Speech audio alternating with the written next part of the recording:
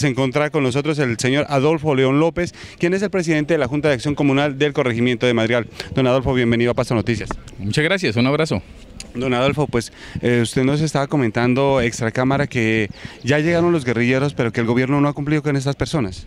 Sí, ya hay aproximadamente unos 200 guerrilleros en, la, en el sector de La Paloma, que le corresponde a, a Madrigal, Alto Betania.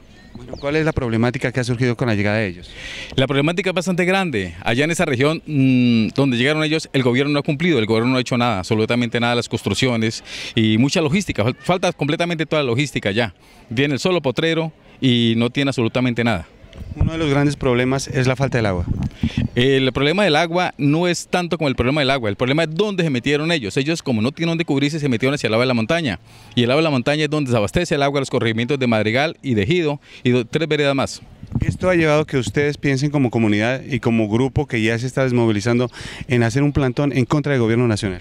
No, claro, es que nos toca a nosotros levantar esa voz de protesta porque es que es, es, es, la comunidad que se va a quedar sin agua. Si ellos siguen la deforestación, porque ellos están deforestando porque no, como no tienen cambuches, no tienen dónde hacerse, están arrancando palos para hacer sus casitas de ellos, donde vivir. Es diferente cuando ellos hacían en el monte, en cualquier parte está bien que lo hagan, pero es que allí es diferente porque llegaron casi 200 y van a ser 200 casas y van a tumbar toda esa parte de la montaña donde nosotros abastecemos el agua. Bueno, son más las problemáticas, así como hay personas que están a favor de la desmovilización y la llegada de los miembros de la FARC a este municipio, pues también hay personas que están en contra. Estas son las voces de la comunidad aquí en Paso Noticias. Pues que están muy atrasados los acuerdos del gobierno no ha cumplido, en la zona está muy, muy mal, no, no, se han cumplido todos los acuerdos y la gente que llegó no está bien ubicada. Entonces, pues me parece mal de que el gobierno no cumpla con los acuerdos para esta gente.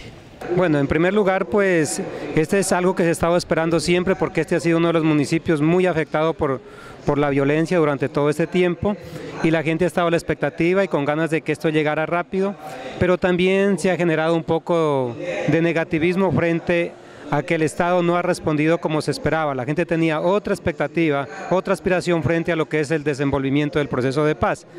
Eh, siempre se ha dicho que el proceso de paz tiene que llegar, para que sea real tiene que llegar con inversión social y como lo acaban de decir quienes han estado interviniendo en este evento, pues realmente las condiciones aquí son muy precarias en cuanto a vías, a infraestructura vial, infraestructura educativa, locativas, en cuanto a agua potable, saneamiento básico, el medio ambiente también está un poco destruido por la falta de recursos para la compra de predios.